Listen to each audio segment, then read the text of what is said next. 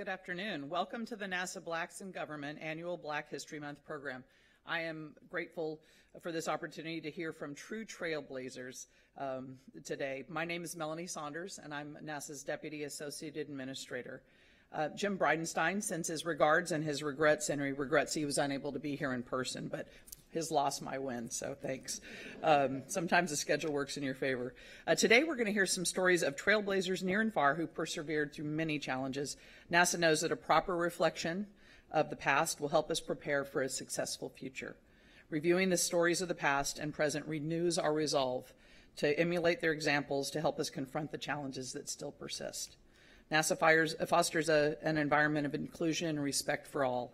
The agency continues to value and appreciate the strengths afforded by both the commonalities and the differences in individual employees, which drives our innovation and creativity. Our agency is engaged in an ambitious mission to return to the moon sustainably and then use what we learned there to go on to Mars. Through our Artemis program, we will land the first woman and the next man on the lunar surface by 2024. I believe I speak for everyone here at NASA, especially including uh, Administrator Jim Bridenstine, that this time when we land on the moon, we will do so with all of America. The exemplary lives of um, Honorary Brigadier General Charles McGee, uh, very famous with the Super Bowl and the State of the Union in your recent past. I thought my schedule was busy, but you're, you know, it's very impressive. Um, and our very own astronaut, uh, Alvin Drew, demonstrate to each of us that we can go higher and further than we ever thought possible. Their lives embody this fundamental truth, an American truth, that together we can overcome any obstacle and together we can successfully um, explore any frontier. I le- eagerly look forward to hearing from uh, these two trailblazers later in the program, and I'll be following the progress of future trailblazer Young Ian, um, also of uh, fairly widespread media last night. That was great. You did very, very well. Um, so I'm now pleased to introduce our next speaker, Associate Administrator for Aeronautics Research Mission Directorate, Bob Pierce. Bob manages the agency's aeronautics research portfolio and guides its strategic direction. As the aero guys like to say, NASA is with you when you fly. Uh, I fly a lot, and that's a comfort to me. So, will you please join me in welcoming Bob Pierce?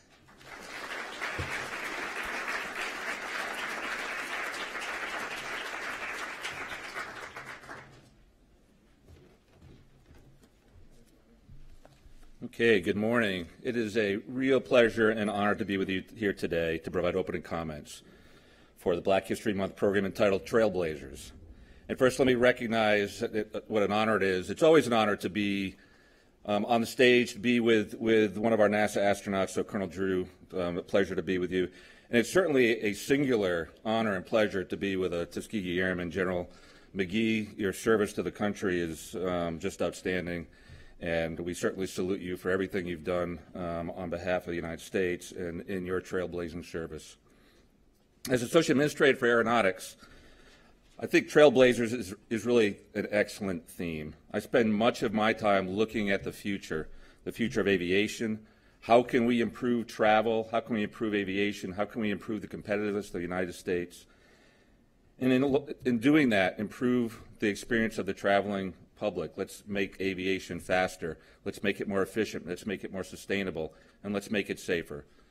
On behalf of, of everyone, all of our, our fellow citizens, both in the United States but also all over the globe, to make aviation a, a, a continue to be the form of transportation that links all of us together. But to make this, this future happen, we need trailblazers. Trailblazers like Colonel Drew and General McGee. Advances in aviation and aerospace in general can be viewed oftentimes in very mechanical terms, right? Big, complex systems operating at the edge of the envelope. But we all know here that it's a very human endeavor. And it's those iconic images of humans and their machines that stir wonder in all of us. But to achieve that future, to achieve it, we need to acknowledge the human history and build upon it in fact, when we celebrate our history, we encourage future generations to reach beyond what we have achieved and to go to new heights. So early aviation pioneers like Bessie Coleman and Dale White paved the way for the Tuskegee Airmen during World War II, and on to astronaut Guy Bluford, who paved the way for Mae Jemison. And the diverse astronauts that will explore the lunar surface, beginning with the first woman and the next man in 2024, will be the next trailblazers. So there's a continuity and a, continuum between the Trailblazers and NASA is certainly the place where often that comes together. And today's talented African American engineers and scientists follow the now famous hidden figures like Katherine Johnson and Mary Jackson at Langley, and also pioneers like Julius Montgomery at Cape Canaveral. But as we celebrate those achievements of African American mathematicians, engineers, mission support specialists, scientists, pilots, astronauts during Black History Month, it's also important for us to acknowledge that they very often had to overcome the barriers and hurdles created by racial discrimination.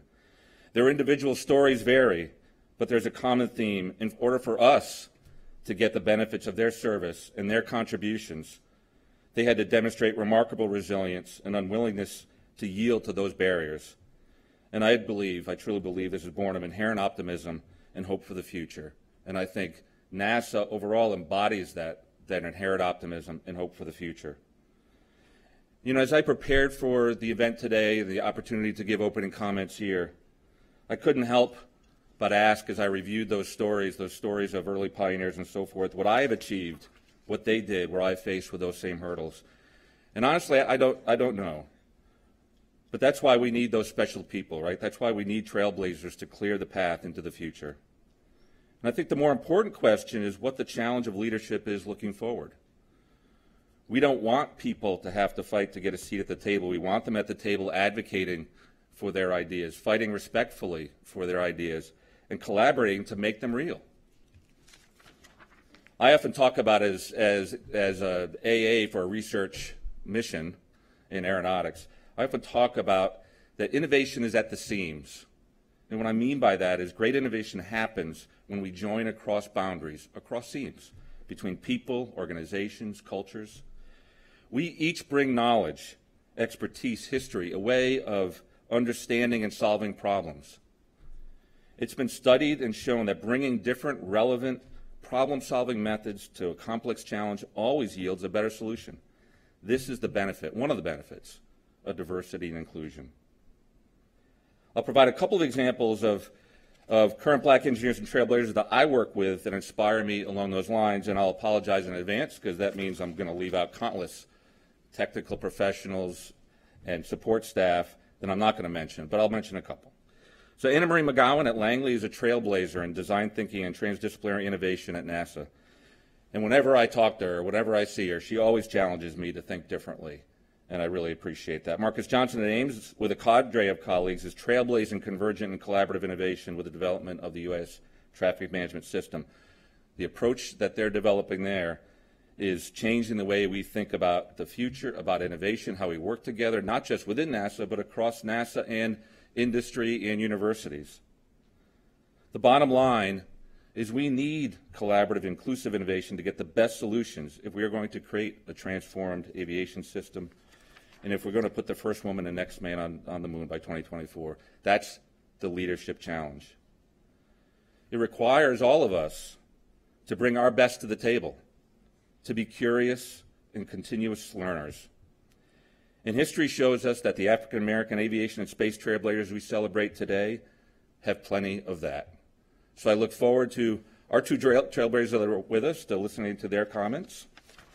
And with that, thank you very much for for for um, listening during my comments. And now my next job as MC is to introduce um, Miss Monica Manning, who is is our assistant, I'm sorry, right in front of me, I'm sorry, uh, assistant administrator for procurement here at NASA. Monica.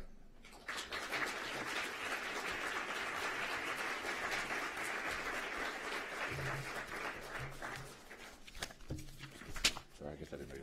Yeah. Yeah, you, you weren't expecting me back up here okay. because I was supposed to do my whole job uh, the first time. So this is what happens when you look at your talking points and not the agenda. So I completely uh, overlooked the need to rise for the national anthem. So I apologize. I know. I know our trailblazers never would have made that mistake. Led by uh, Andres Almeida. Thank you. Oh, say, can you see by the dawn's early light what so proudly we hailed at the twilight's last gleaming?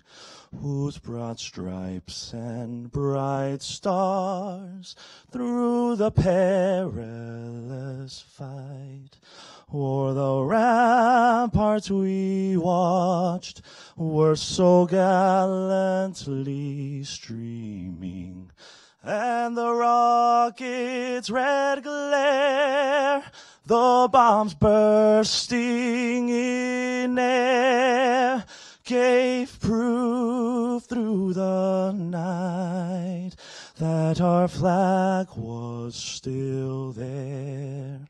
Oh, say does that star-spangled banner yet wave? O'er the land of the free and the home of the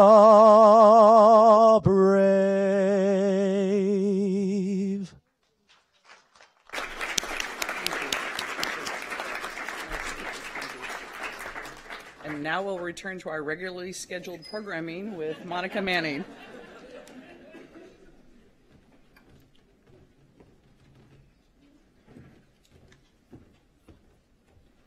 Good morning. I have the distinct honor, privilege, privilege, and pleasure to introduce our two distinguished trailblazers. I had the opportunity to speak with both of them in the back, and they both are extremely excited about being here and are looking forward to any questions that you all may have. First, I will introduce Honorary Brigadier General Charles McGee.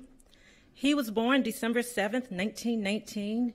He was a sophomore at the University of Illinois when duty called, and he then joined the U.S. Army and Tuskegee Airmen Program during World War II. Brigadier General McGee earned his Tuskegee Airmen Pilot's Wing on June 30, 1943. He successfully completed 409 air combat missions across three wars World War II, Korea, and Vietnam. And he served his country for 30 years, beginning with the Army Air Forces. He was presented with the Congressional Gold Medal by President George W. Bush in March of 2007, and he was enshrined into the National Aviation Hall of Fame in 2011. Please join me in welcoming Brigadier General McGee as he comes to the stage.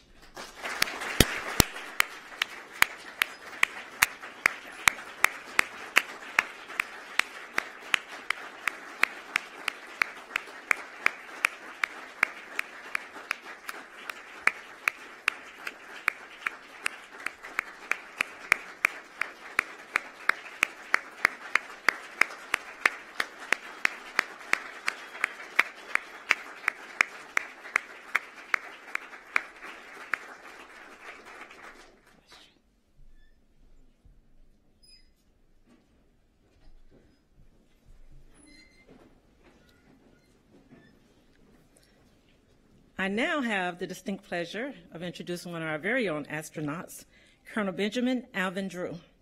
Colonel Drew was born November 5, 1962, right here in Washington, D.C. He received his Bachelor of Science degrees in astronautical engineering and physics from the United States Air Force Academy in 1984 and a Master of Science in Aerospace Science from Embry-Riddle University in 1995.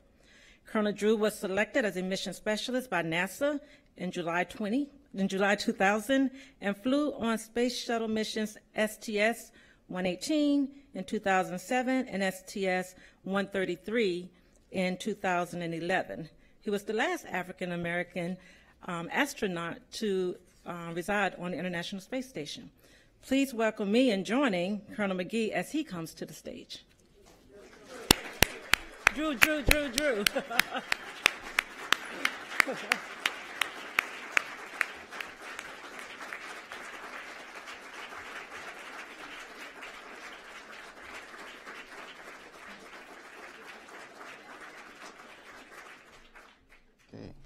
Uh, This jacket here for the lights, if you don't mind.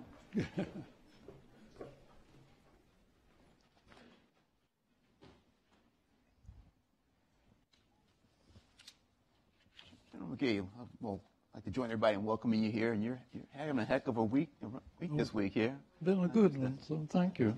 Most of us, serve our country for 30 years, we, uh, we, we rest on our laurels and, and go check out um, um, what's on TV. All right. But you, uh, you've got several bad habits like flying high-powered jets on your birthday, and when, when, when an age up I'm, flying. when I'm sure they won't allow me to drive.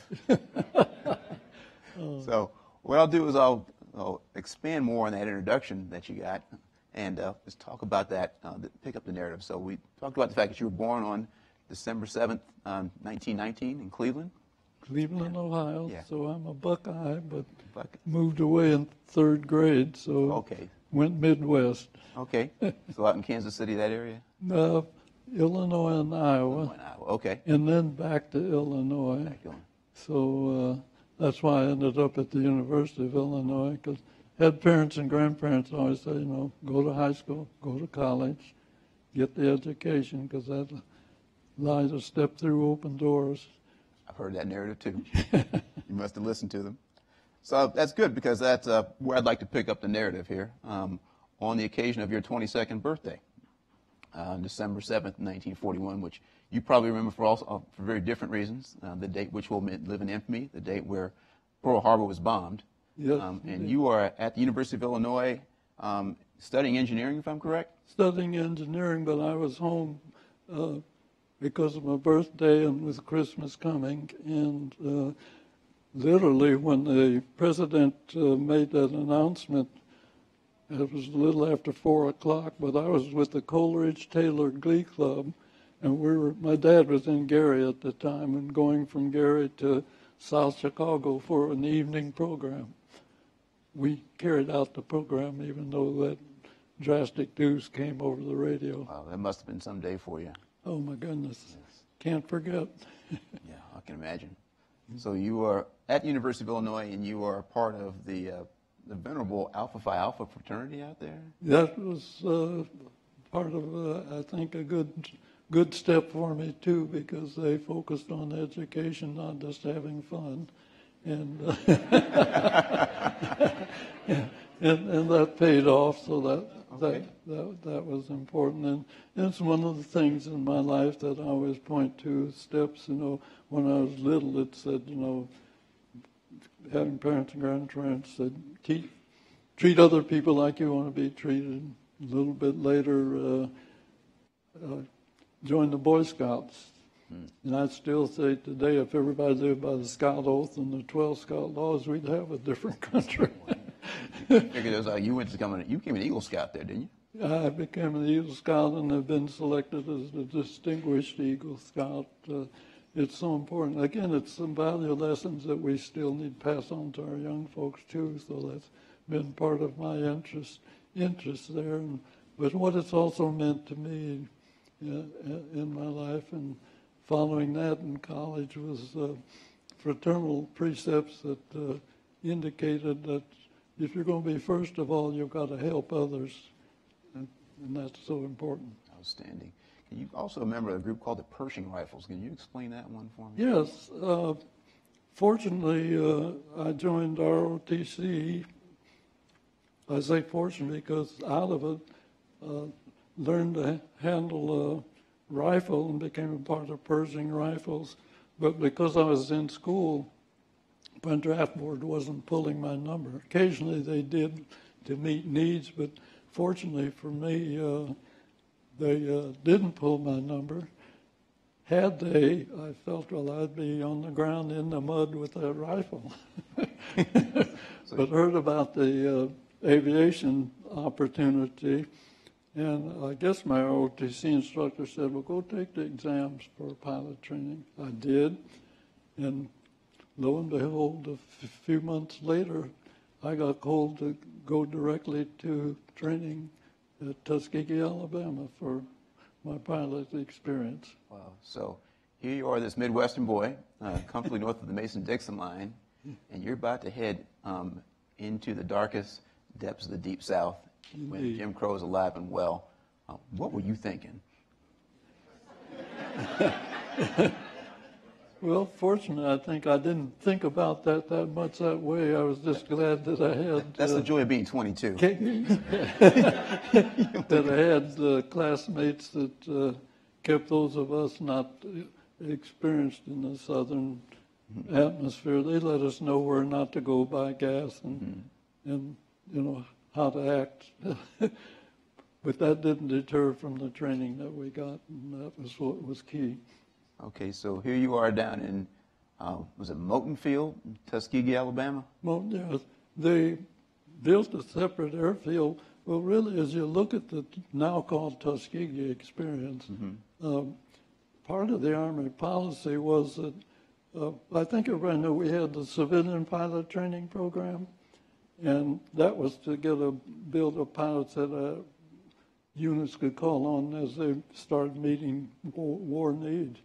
I think it was in Washington D.C. that uh, one of one of the persons that had gotten their pilot's license in that program went door, said, I want to be an Army pilot. Army's policy was, we have no black mechanics, so we can't use a black pilot.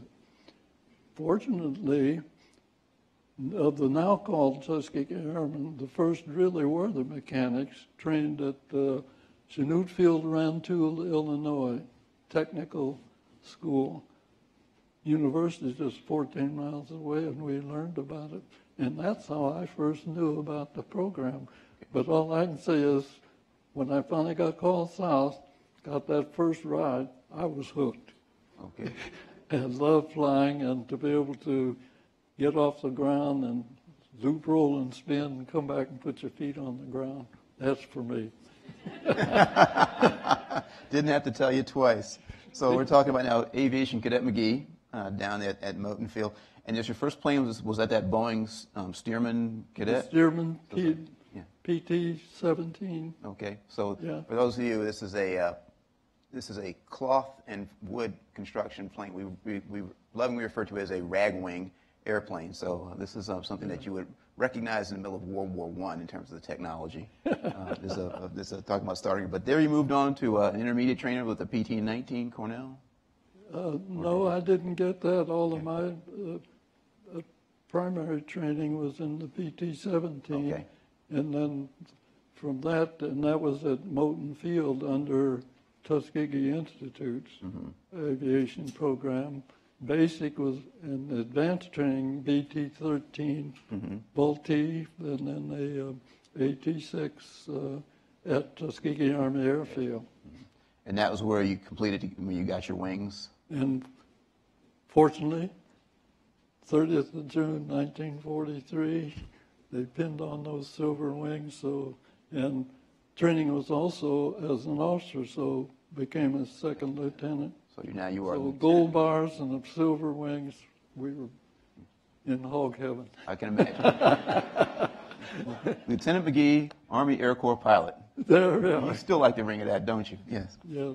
Uh, so, the um, tell me about the transition you had from being this newly minted pilot who knows how to fly to somebody who knows how to fly and fight. Where did you go for your fighter transition planning, and when did you meet up with your, your fighter group? As they began to form the, form the units, uh, Tuskegee Army Airfield, of course, became pretty crowded. So uh, our combat training really took place at, in Michigan, in uh, Selfridge Field, and then Oscoda Army Air Base farther up north, where we could do gunnery out over the lake and not disturb traffic. Uh, so we uh, as I say, I graduated in June of 43, but December of 43, we were combat ready. Okay, so you were with your unit then at this point and going off Right. to. Our training, we were assigned, and I became a member of, of the 302nd Fighter Squadron.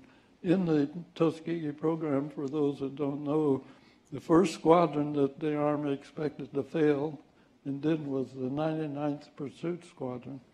And they were combat ready uh, in December when I started my training, but no white commander wanted them. And they continued training for another three months and were finally sent to North Africa, attached to a white group, but not, they went, segregation went overseas too. They had their own base. They sent a pilot over to the, to get their briefing, came back, flew their missions. But Colonel Momyer said, told you they weren't good. They've only shot down one aircraft, and ought to be patrolling Liberia. Well, how's it, history memory? Where is Liberia? Where were the Germans in North Africa? I think you get the idea. Far away from the actual front there, so hard, hard to shoot down enemies where they're not around. Right. But it turns out, uh, even though they had said that to them, a hearing in Washington said, found out the 99th bombs on target was the same as everybody else, only been there a short time, continued. And they moved out of North Africa into Sicily, out of Sicily into Italy. As they moved into Italy, the 332nd Fighter Group, the other three single engine fighter squadrons, we went directly to Italy. But amazing, although we were also combat ready in the P-40, they said, "Oh, you are going to do some patrol work." We switched to P-39 Bell Airacobra, but still left training in Michigan on schedule, landing at the same time 99th was moving out of uh, in, into Italy. We landed directly in Italy with the P-39, so they're flying the P-40 interdiction ground support. 332nd Fighter Group was flying the P-39 Coastal Patrol uh, up to the Anzio beachhead.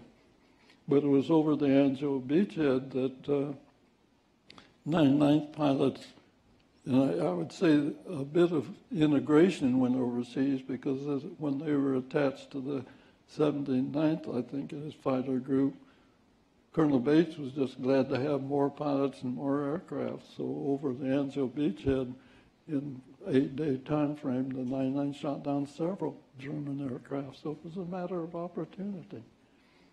But that's not where the story ends for the 332nd Fighter Group. Uh, um, we were only there, what, about three months, and um, it turns out we thought we had enough guns on our B-17s and B-24s to protect them from the German Air Force.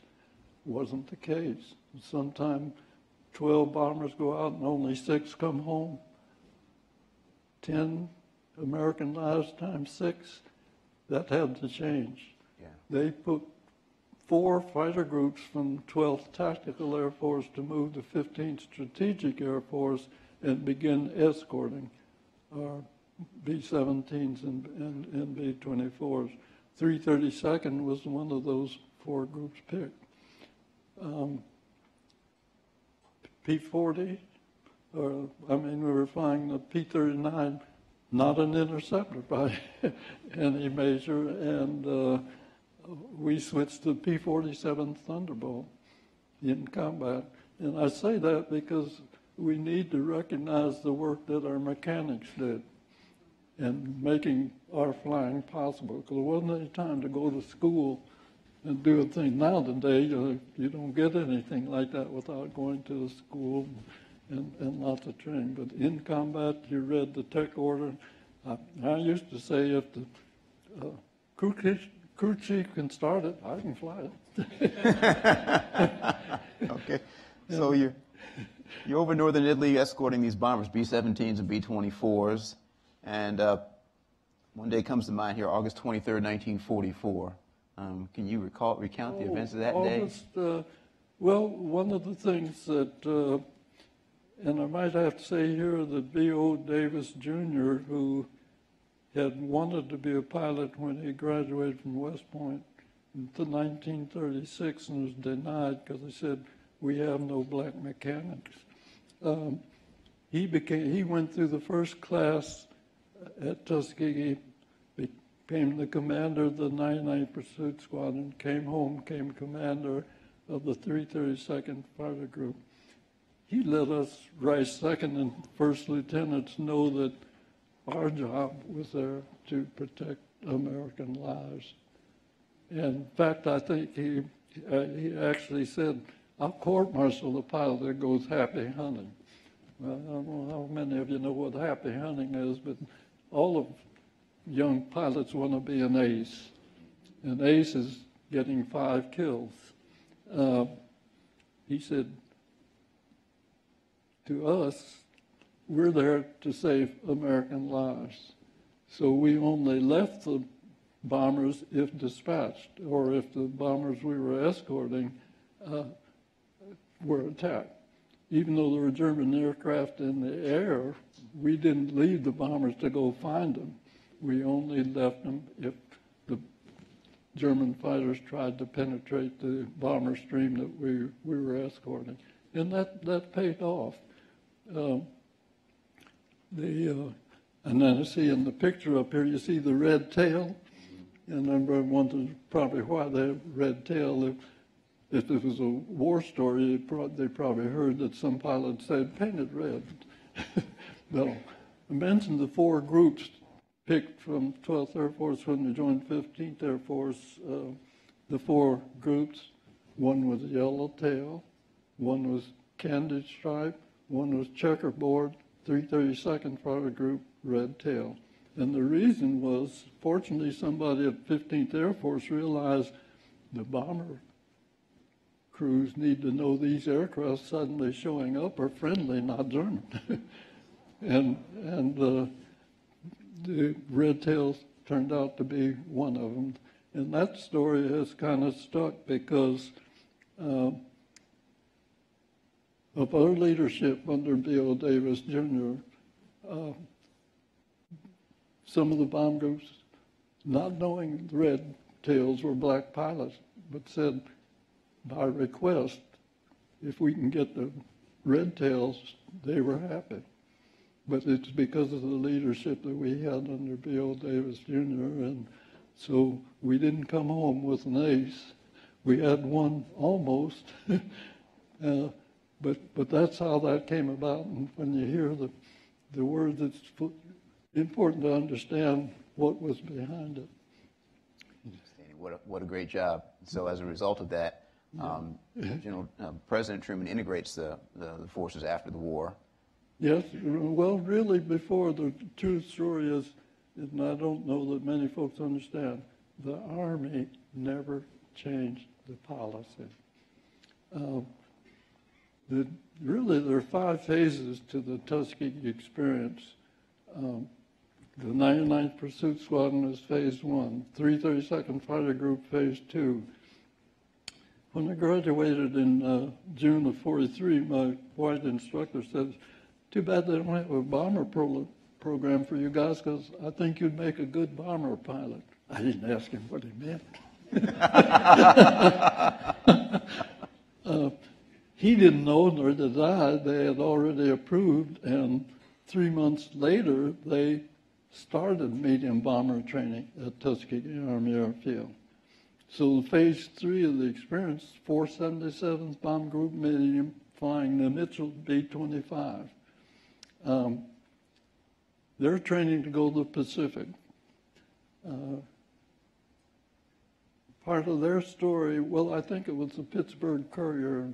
And some folks, some of you may know that the Courier wrote an article once saying, oh, we're fighting for two victories victory over Hitler in Europe and victory over racism here at home.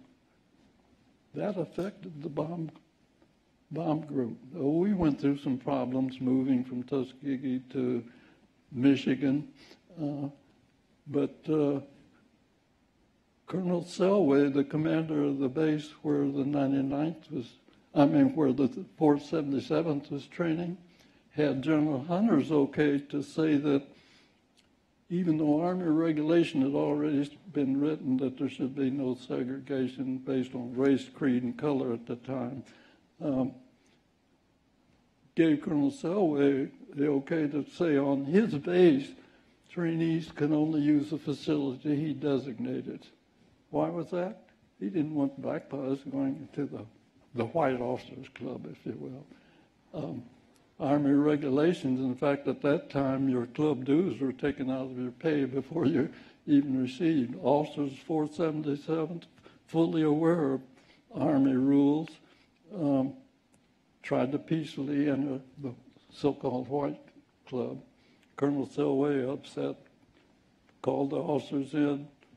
Please read my regulation again and sign this paper that, that you'll abide. The officers knew what the regulation was, They tried in twos and threes peacefully enter the White Club, were denied. That upset Colonel Selway, of course. Uh, so we asked him, please sign this, read my regulation again, sign that you agree. 101 refused and were immediately shipped off from Seymour, Indiana to Godman Field, Kentucky, guarded behind the worse treatment than German prisoners of war at the adjacent Fort Knox. Um, but they, that brought a hearing, for sure. Uh, I don't know where they sent Colonel Selway, but the Army finally said, uh, hmm, war's over.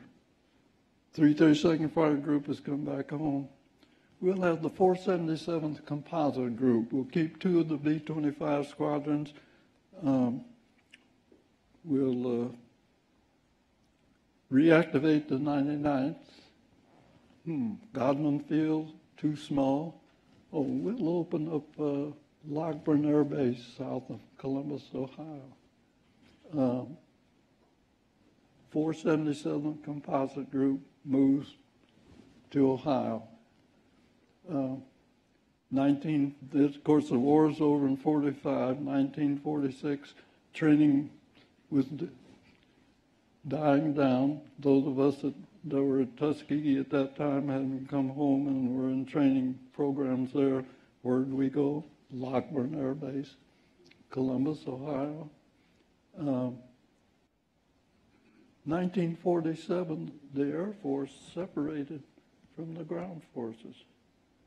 And the Air Force, oh, everybody wasn't for integration, but they determined, you know, we need to use people based on training and experience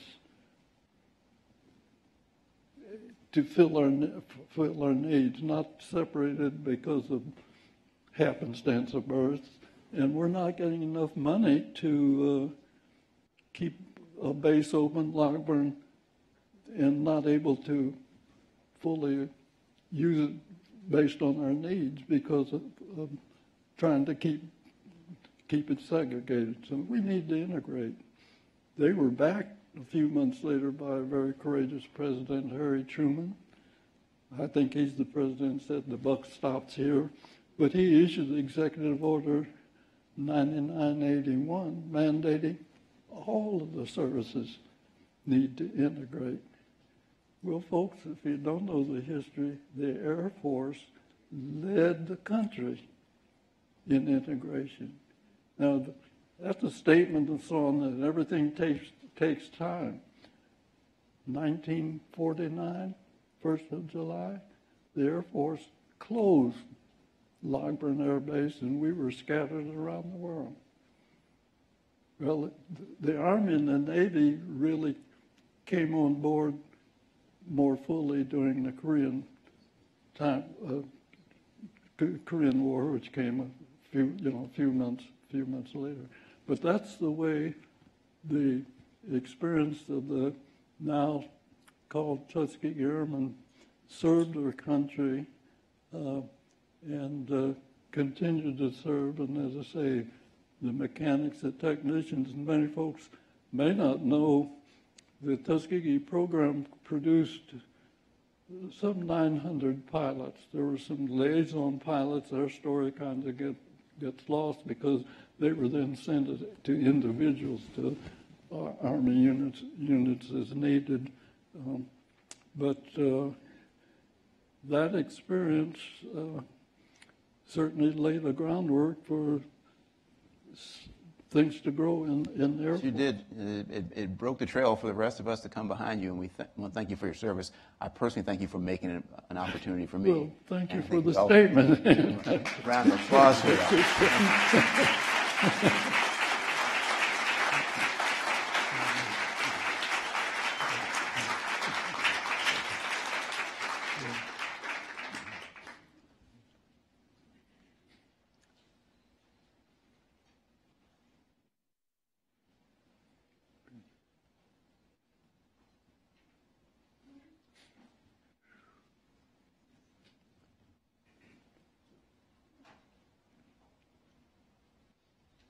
assume there's going to be a question coming from that. I think Yeah, so. yeah, sorry. We'll see what comes next. Sorry, I was, I was, I fell down on the job, I think, yeah. so- I was, I was so riveted with the, with the story, it's hard to, it's hard to kind of transition. Hey, so we're going to take a couple of questions from the audience for General McGee. Please, uh, we have, hopefully, we, we got a couple of microphones here, so please just raise your hand and.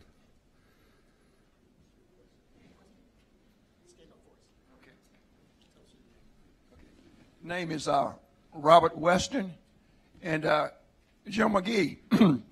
uh, I went to school down at Tuskegee, and I'm one of those guys who's following in your footsteps. I always had a great deal of respect for you, and uh, it was far easier for us. I went uh, uh, to Tuskegee and uh, was trained by one of the greatest pilots I ever met, Chief Anderson. That's a gentleman I know that you remember from Tuskegee. Yes. He trained uh, uh, also uh, General James and many others at that airfield. But I just wanted to let you know there's somebody in the house here today who's from Tuskegee. Appreciate that very much. uh, the- What, what is key is that you mentioned people, uh, as I say, segregation wasn't changed, but there were people who believed in the opportunity and did a lot to assure that the opportunity didn't didn't disappear. And fortunately, uh, uh, we prevailed in a way that uh, it became meaningful meaningful for many others. And as you say, you say you stand on our shoulders. Well, all I can say is it's awful good that we were strong enough and tall, We're- tall enough for you to, to, to, to make that step. But th- thank you, Chief Anderson. You know, Tuskegee Institute had a very good civilian, civilian pilot training program, and uh, Chief Charles Alfred Anderson was a self-taught pilot in the 30s. Uh, wanted to fly, but because he was black, he didn't have any help. There were a couple of the Army pilots understand across the country, I think was in Arkansas or somewhere like that, that helped blacks get into aviation, but many in that early year had to help themselves.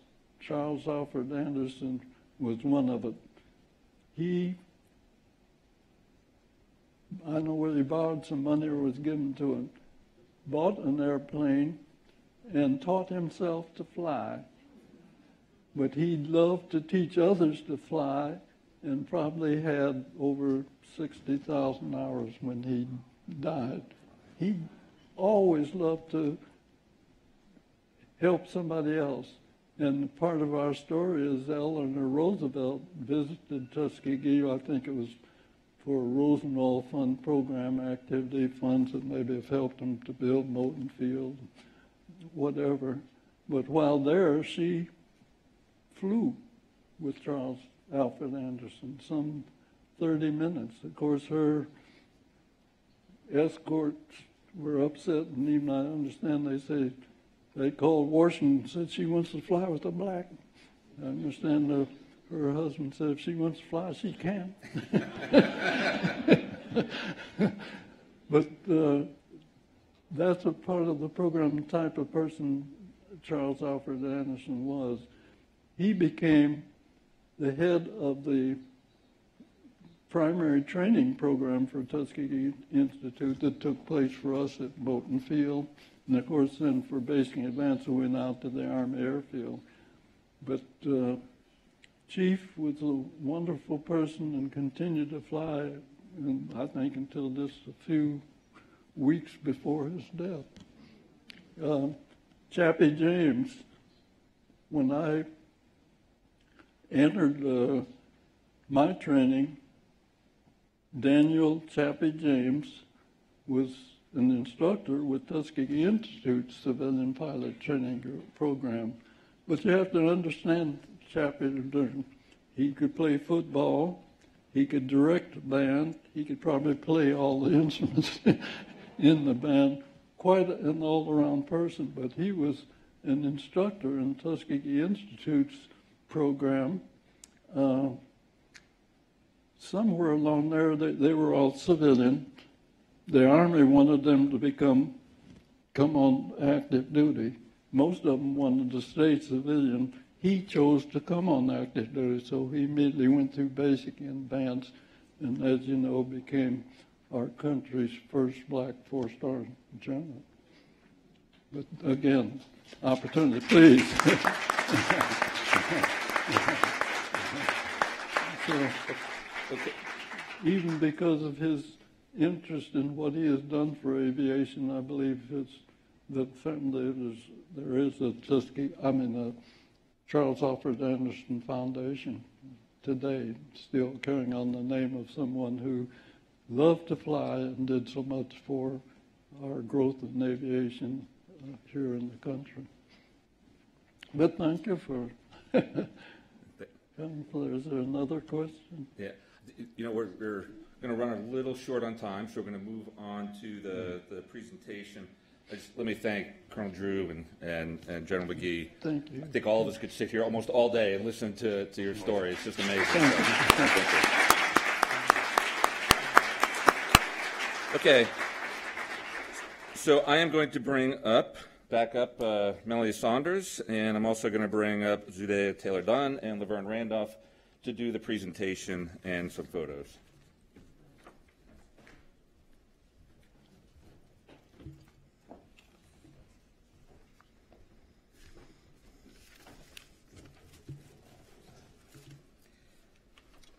General McGee, we have a little something for you um, that aligns with NASA tradition.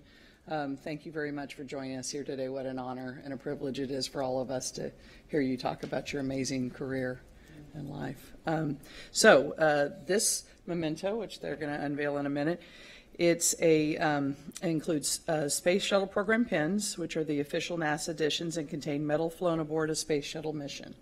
These United States and Ohio state flags were flown to the International Space Station aboard the last shuttle flight, aboard STS 135, July 8th, 2011 uh, to July 21st, 2011. And NASA is presenting this to you in honor of the courage, the leadership, and innovation that you have consistently demonstrated throughout a lifetime of achievement in the field of aviation, for the inspiration that you provide to the next generation of air and space travelers and for your service to our nation. We offer our deepest gratitude from the National Aeronautics and Space Administration, February 2020. Thank you very much, sir. Please.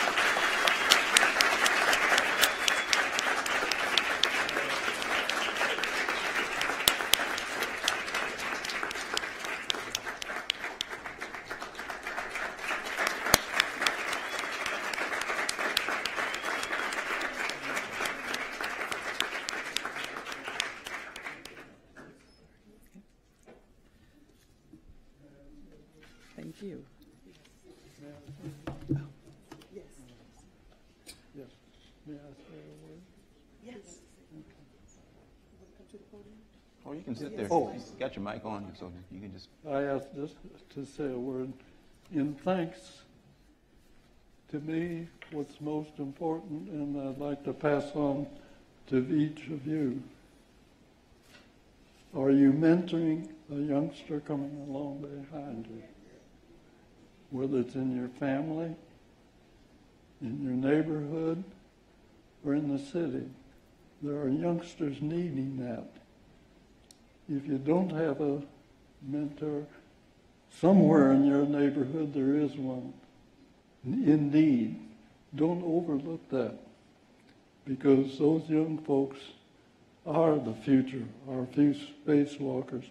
I tell middle school when I talk to them, I said, you all know we're going to Mars. Oh, yeah, yeah, yeah. I said, guess who's going to make the trip? When it gets all planned, I think the planners are going to be too old, and I say, it's going to be one of you. it's a message we need to take all across our country. And that's why I say to you, if you aren't mentoring a youngster, find one because they're out there and they are in need and they are our future of our country.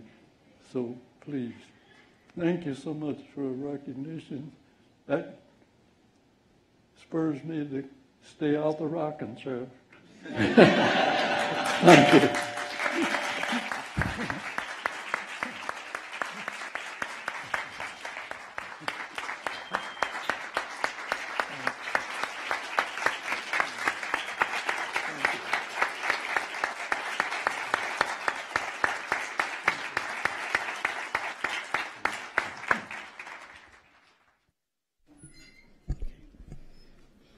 At this time, we want to also thank our Colonel, Alvin, Benjamin Alvin Drew. Um, we'd like to thank you for your support of NASA Headquarters Chapter BIG, um, your service to NASA, our nation, and to humankind. So will you please accept this token of our appreciation?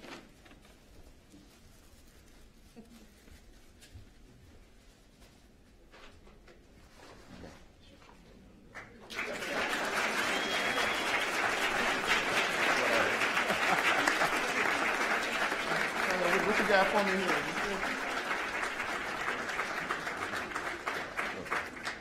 Yeah, open it up. I'm the kid who won't wait on Christmas Day. I guess. I want to see what's inside.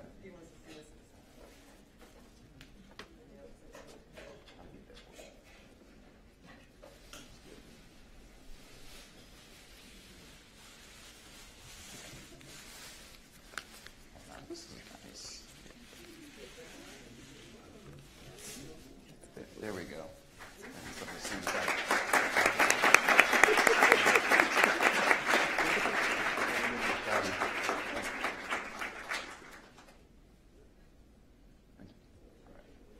Thank you.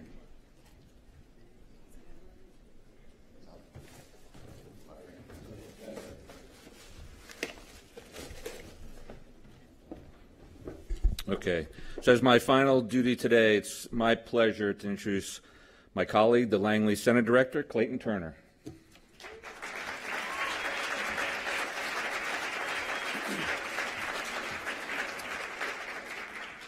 Good afternoon. It's been an honor and a pleasure to hear from a distinguished trailblazers, Brigadier General Charles McGee and Colonel Alvin Drew. Their lives and their service to our nation is inspiring.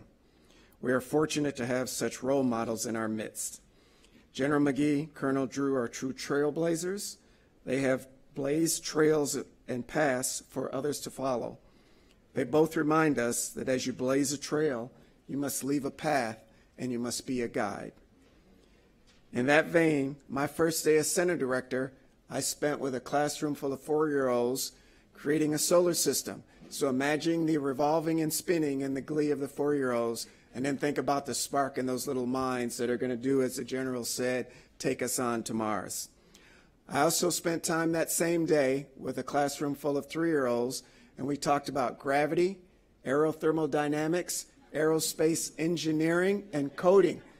And I know that sounds wild, but as I explained gravity, a three year old, when I asked why did the ball fall to the ground, she told me because it wasn't a balloon. And she told me why the balloon went up. So, if you have the opportunity, as the general said, I highly recommend the experience. Having a bumpy day, go out and talk to some three and four year olds. Go out and talk to some middle schoolers. Go out and talk to somebody and make a difference in their lives. You know, as I listened to our honored guests and their amazing accomplishments, I thought about General McGee's courage and determination to break through barriers and to overcome tremendous obstacles to achieve accomplishments that many thought impossible, and how he is still a trailblazer today. I thought about Colonel Drew achieving his dream to become a pilot and on to become an astronaut, and how his example illustrated that hard does not mean impossible. How he is sharing that lesson in deeds and words, and how he is still a trailblazer today. I thought about Katherine Johnson, Mary Jackson, and Dorothy Vaughan and their journey and the story we know so well today. I thought about the countless number whose names we don't know, whose stories we don't know, and how much they had to overcome and how much they achieved. And it's a legacy that we honor today. Just like General McGee and Colonel Drew, at NASA we are part of making the impossible possible. As we celebrate our two trailblazers, Let our celebration be a call to action, to follow their example, to overcome the challenges we still face, to inspire the nation as we take on the impossible. Just as power, powered flight inspired, just as Apollo inspired, Artemis will inspire, and as we land the first woman and the next man on the moon, as we learn to live and work on the lunar surface, as we learn to leave home planet and go on to Mars, we will inspire a generation. We will do these amazing things, and we will, as our honored guests have done, also inspire that generation, the Artemis generation, to not only join us, but to be prepared to go beyond us and to reach for new heights, to reveal the unknown for the benefit of humankind. Thank you for being part of today's celebration. And now it is my pleasure to introduce the All Souls Church Unitarian Choir, who will lead us in the concluding song, Lift Every Voice and Sing.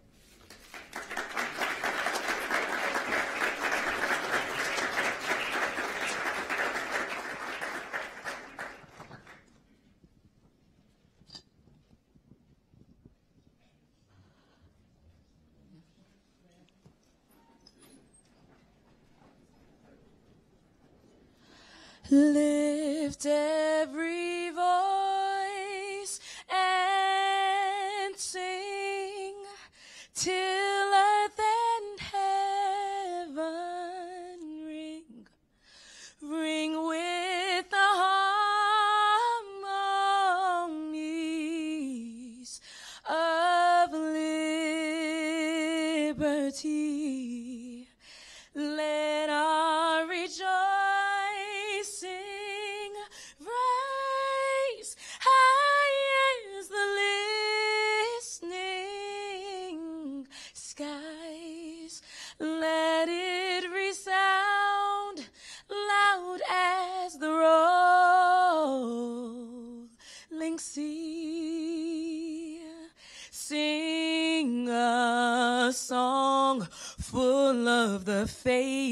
the dark past has taught us.